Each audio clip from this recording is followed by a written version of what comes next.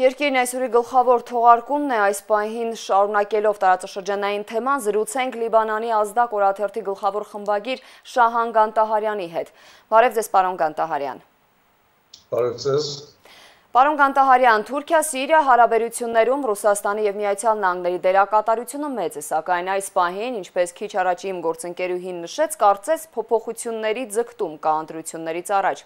Լիբանանի խորհրդարանը 11-րդ անգամ չկարողացավ ընտրել հանրապետության ղեկավար, այստեղ նույնպես մեկ այլ ճգնաժամ է։ Իրան-Իսրայել, Ադրբեջան հարաբերություններում լարվածություն կա մեղմ ասած, ինչպես կմեկնաբանեք այս անկայուն իրավիճակը տարածաշրջանում եւ մեզ վրա սա ինչպես կանդրադառնա վերադառնա նաև հայերի, ովքեր օտար երկրում են բնակվում։ Շնորհակալություն Արիթի համար։ Այո, դուք ճիշտ նշեցիք, բավական խառն իրավիճակ է միջինարևելյան տարածաշրջանում։ Եթե սկսենք Լիբանանից, ուրեմն արդեն խորհրդարանի հերթական նիստը նիստին չի հաջողում ընդրել հարաբերության նախագահ։ Չկա կոնսենսուս, չկա նախագահի տեխնազուի շուրջ համախմբվածություն, համախոհություն եւ սա զուտ ներ լիբանանյան խնդիր չէ, որովհետեւ Լիբանանը գիտեք շրջափակված է ֆինանսապես սա նախաբայմանային քաղաքականություն է գիրառում հավաքական արևմուտքը միջազգային հարությունը Լիբանանի նկատմամբ առաջի խնդիրը ծովային սահմանազդումներ Բաշանական Բեյրութը դվեց իր համացայնությունը բայց դրանից խող մյուս գործողությունները դեռ չեն եղել ուրեմն բեղման, ուրեմն գազի շահարկման շատ բարդ խնդիրներ է, ահավոր տնտեսական ֆինանսական ջտնաժամ է, գդրուկ արժե զրկվում է Լիբանանյան դրամանիշը, սղաճը, գործազրկությունը, այս բոլորը բնականաբար շատ վատ հետևանքներով ազդում են հասարակության վրա, ընդ որում նաև Լիբանանահայ համայնքի։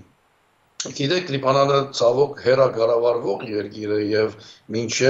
մինչեւ նաև տարածաշրջանում գլխավոր խաղացողների միջև ընդհանուր համացանությունը չի լինի, հանկուցալուծումները չեն լինի, սկսած տնտեսական ճգնաժամից, վերջացած անվտանգային խնդիրներով, միջև քաղաքական, ուրեմն այդ ընթացագարքի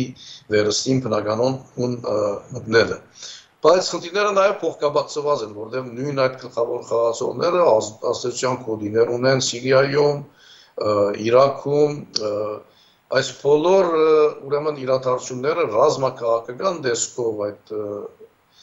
փախումնային գեդերը շահերի իրենց դրսևորումն են ունենում։ Ուրեմն հիմա այս բահին Սիրիայի դեպքում կարելի է ուրեմն այնպես բանացև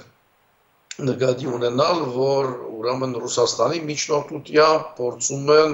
Անկարայի եւ Դամասկոսի հարաբերությունները վերականգնել։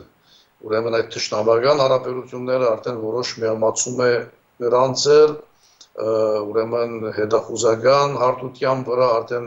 հանդիպումներ են կայանում, արդեն խոսվում է նաև նախագահների միջև միջնախագահական ձևաչափով հանդիպման մասին, բարձ է այստեղ Ռուսաստանի միջնորդությունը, Պաշտոնական Տեհրանը եւս նաև միջնորդական առաքելություն իրականացնելու հայտարարություններով հանդես եկավ։ Սա կապված է կարծում եմ որոշակի առումով ոչ միայն Մոսկվա, Անկարա ռազմավարական մերձեցման եւ ուրեմն դարազաշրջանում ուրեմն դերերի փաշխման կամ ընդհանուր համագործակցության շրջանցիրում, այլ նաև Թուրքիայում շուտով գայանալիք ընտրությունների հետ եւ դա նաև ուրեմն գապվի Հայաստան, Թուրքիա, ուրեմն երկխոսության գործընթացի լավադեսական շեշտադրումներ ներշնչելու եւ նման համահունչ հայտարարություններ կատարելու Անկարայի կողմից։ Այսինքն ուզում են ասել, որ խնդիրները, հանգուցալուծումները ընթացքի մեջ են եւ իրենց մտապատկերի մեջ դա կարող է ասել նաև ընդրությունների վրա։ Այս առումով նաև կարծում եմ Թուրքիայում գայանալիք ընդրություններին կապելով Չավուշօղլուի վերջին նախագծի մասին կարող ենք որոշակի վերլուծական հայացքներ դել, խոսքը վերաբերում է տրանսկովգասին, որը սեյության հաղորդակցությունների զարգացման հարթակի ստեղծմամբ գկա փոխարինելու 3 առավել 3 ձևաչափը, որը մինչ այժմ չի աշխատում։ եւ դրա փոխարեն հիմա Անկարան փորձում է ուժի մեջ մտցնել ուրեմն տրանսկովգազը եւ այստեղ շատ հետաքրքիր նրբություն պետք է նկատել Չաուշօղլուն խոսեց ուրեմն տրանսկովգազի երագոմ կամ քարագոմ լինելու մասին հետո ասեց նաեւ որ եթե Երևան ուզում է միանալ կարող է եթե նման ցանկություն ունի կարող է միանալ այս նոր ստեղծվելիք նախագծին խոսքը ուրեմն Թուրքիայի, Ադրբեջանի եւ Վրաստանի մասին է երագոմ ծավաչափ լինելու դեպքում, եթե քարագոմ լինի Իրանը նկատի ունել, իսկ եթե Հայաստանն էլ միանա, ուրեմն գվերածվի 5 կողմանի։ Սա նման պայմաններում Ռուսաստանի բացառումն է կամ Ռուսաստանի դուրս մղումն է նոր, ասենք, դարաձաշրջանային նախագծին։ Երեք առավել երեկը չեր աշխատում, որովհետև անverջ Վրաստանը ասում էր մինչև այն ադեն որ Ռուսաստանը գա, անուղագիորեն ասում, ինքը չեր միանալու, հետո նաև շատ գոշտ հայդարարության պանտեսեգան, այն առումով, որ ուրեմն Ռուսաստանը Պաշտոնական Թիֆլիսը հայտարարեց, որ Ռուսաստանը բարդվում է, հետևաբար պետք է հեռանա նաև վրացական տարածքներից։ Սա այլևս անհնարին դարձուց երեք առավել երեկը եւ Թուրքիան եւ դարաձաշրջանում ուրեմն իր ասոցիան կոդիների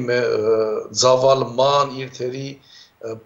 ընդլայնման եւ նաեւ ուրեմն ընդրությունների առումով, շուտով գայանալիք ընդրությունների առումով այս նոր ծավաչափը մեջտեղ ներդեց։ Սա հետաքրքիր է եւ սա կարծում եմ գաբ ունի նաեւ միջին արևելքում որոշակի գետերում նկատվող Մոսկվայի եւ Անկարայի շահերի փախման առումով, որովհետեւ անընդհատ արձազվում է նաեւ Թուրքիայի ուրեմն զորքերի հերացման պահանջքը սիրիական դարածքներից եւ դա կլինի բանակցությունների օրագարկերից մեկը